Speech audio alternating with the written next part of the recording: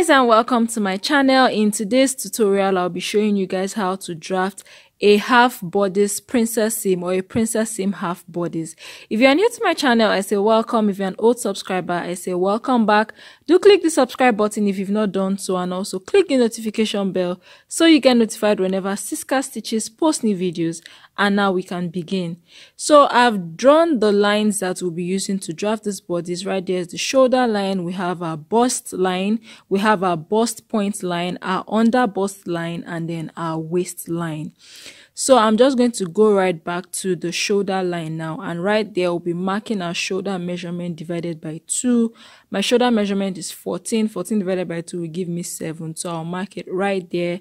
And then i'll mark that same 7 inches at the bust um, line and then I'm going to join the point and this will serve as where we will be drafting our you know we will be creating our armhole curve. So I'm going to go to my neckline I'll be going with neck width of 4 inches and then neck depth of 5 inches and then I'm going to get my French curve and use that to curve out the neckline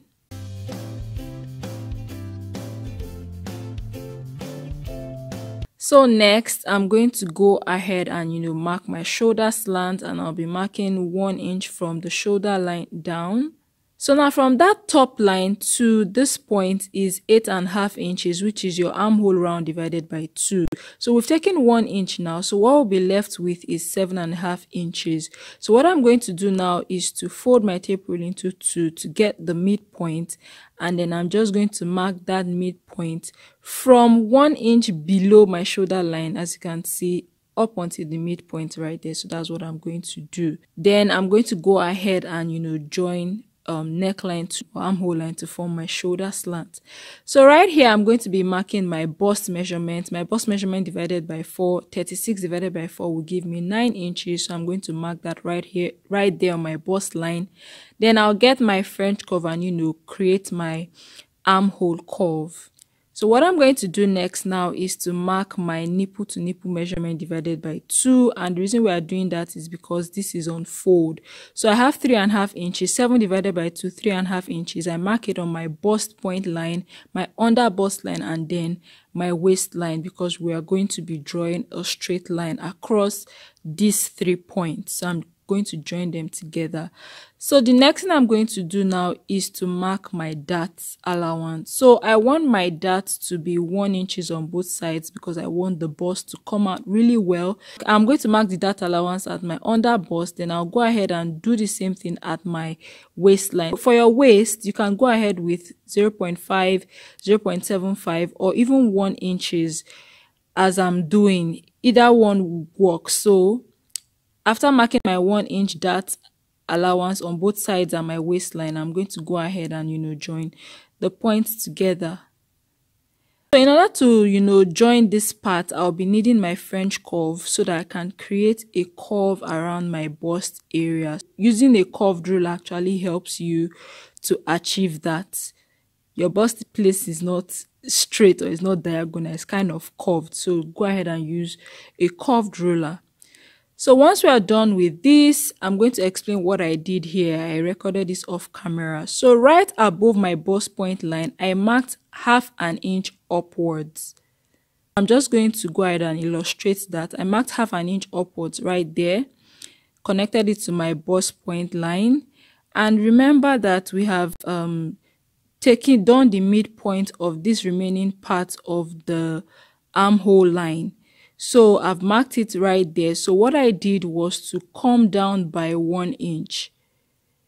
So I came down by one inch from that midpoint and I'm going to show you where I marked it. So from that point, I came down by one inch. That's the midpoint from that point, from the shoulder slant to the bust line. So like I said, I came down by one inch and then I connected these two points together from that point to that point and I ensured that the line cut cut across the armhole curve as you can see. So what I did next now is that line that cut across the armhole curve, I marked half an inch on both sides of that line as you can see. So I have half an inch here and I have half an inch at the top right there. So that's the explanation for that. So what i'm going to do next now is to use a curved ruler again at this point to connect from this line right there up to the curve. That's the half inch i marked below that midline. So i do the same thing for both sides so guys, what I'm going to do now is to extend this bottom line by half an inch. The reason why I'm doing this is such that when I sew my fabric, I am not shortened by that point. So I'm just going to mark an extra half inch. You can go with one inch in order to be on the safe side, but I'm going with half an inch. This um one inch that I took at that curved area, we are going to be cutting that dart out. So what i'm going to do now is to replace that one inch on my bust line. And we are replacing it on the bust line because the armhole line is sort of connected to the bust line. So once i do that i'm going to now connect the half inch extension to that one inch dart allowance that i took out on the armhole line.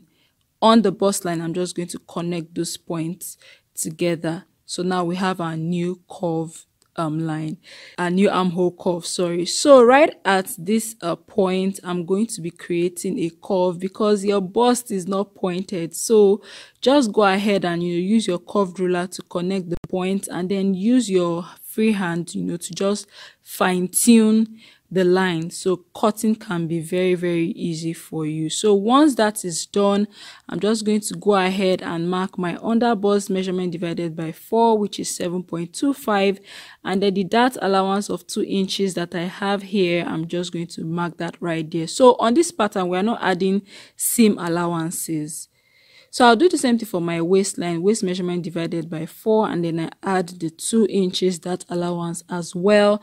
And then I'll just go ahead and, you know, connect the points from my waist all the way to my bust. Now I'm bypassing my under bust because you can actually take out the allowance when we are sewing. So I'm just measuring that excess and I have 0.25. So I'm going to note that when I'm, you know, sewing my allowances on my fabric in order for the um, outfit to fit my body.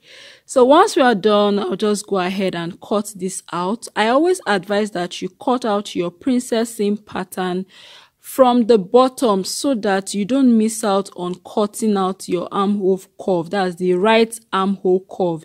If you start from the top there's a tendency to miss out and cut the wrong one. So i'll just go ahead and cut out this extended part. So i'm just going to go ahead and cut them out cut out the darts allowance. So like i said there is no seam allowance on this. So when you're cutting this on your fabric just add your half inch seam allowance where necessary especially when joining the princess seam back together at your neckline at your shoulder slant at your armhole line at your waistline. Then at the side seam you can make it um one inch or one and a half inches. That is up to you. So i'll just go ahead and you know cut out my pattern and that's it guys. We are done with this um tutorial. So this is it guys. This is how the pattern will look like once you're done cutting. And then yeah you're ready to use this on to make your bodice your half princess seam half bodice. So i hope you guys enjoyed this tutorial. I hope it was helpful to you. If you have any questions do ask in the comment section. I'm going to respond. And please if you watch any of my videos and you make a dress from it please tag me in your pictures on on instagram. I hope you guys enjoyed this tutorial process. Thank you for watching and i'm going to see you guys in my next video. Bye